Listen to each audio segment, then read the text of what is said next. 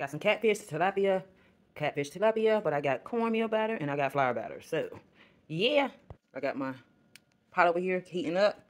Don't want it too hot, but don't want it not hot enough. Don't want to overcook it. So you got to be careful with that. I already got my cabbage. This is cabbage, um, bell pepper, onion, allspice, spike, onion, garlic. Um, it's the carrots, tomatoes. Yeah, nice little mix.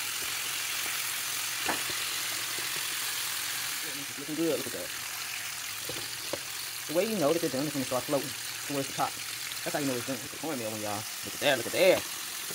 Looking good. Number two seasonings that you will have in pepper. I'll take these with me everywhere. Well, not the pepper, but the spike. Tell me what you think, but I can't wait to get that fish and so that fish. So I got regular, well,